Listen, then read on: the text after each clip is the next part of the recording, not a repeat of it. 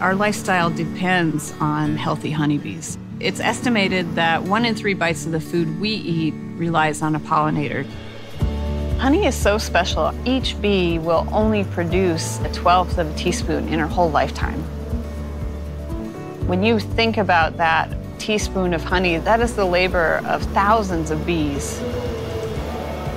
When you buy honey, you're supporting a beekeeper directly.